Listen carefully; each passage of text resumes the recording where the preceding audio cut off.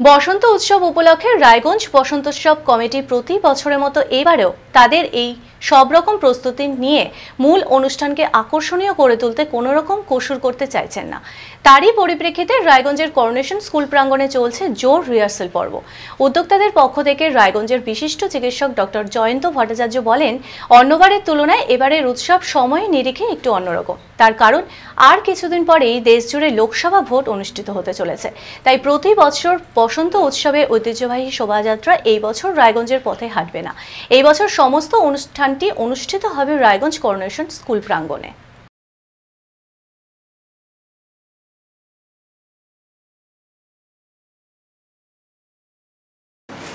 এবারে বসন্ত উৎসব পনেরো বছর।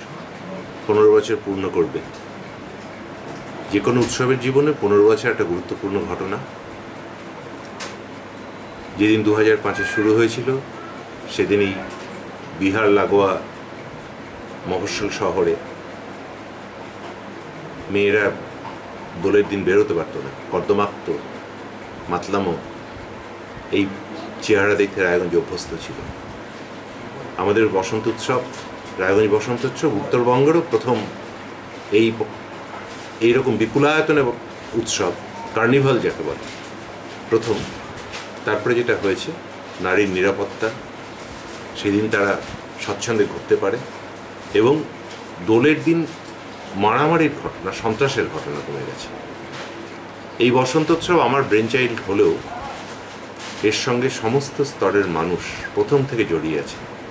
আলাদা করে সেই নামগুলো না করে বরঞ্চ সংগঠন হিসেবে নামগুলো বলি আরসিটিভি, রায়গঞ্জ মিউনিসিপ্যালিটি অত্যন্ত আন্তরিকতা নিয়ে তার কাজ কর- করছে। রায়গঞ্জ করোনেশন স্কুল এবছর এবছর করোনেশন স্কুলের ভেতরে আমরা করতে পারছি না কিছু টেকনিক্যাল কারণে, বাইরের পাশের মাঠে হচ্ছে। তার আগে পর্যন্ত রায়গঞ্জ করোনেশন স্কুলের উন্মুক্ত প্রান্তর, সুরক্ষিত প্রান্তর আমাদের বসন্ত উৎসব হয়েছে এত বছর ধরে। সেটা হচ্ছে যে এই উৎসবের প্রেরণা আজকে অনুপ্রে- অনুপ্রাণিত হয়ে রায়গঞ্জের প্রতিটি ওয়ার্ডে বোধহয় বসন্ত উৎসব শুরু হয়েছে, প্রতিটি পাড়ায় বসন্ত উৎসব শুরু হয়েছে। এটা একটা উৎসবের আকারে, উৎসবের মেজাজে ছড়িয়ে পড়ছে সমস্ত মানুষের মাঝে। তাতে মূল উৎসব খানিকটা ক্ষতিগ্রস্ত হলেও সংখ্যার দিক থেকে।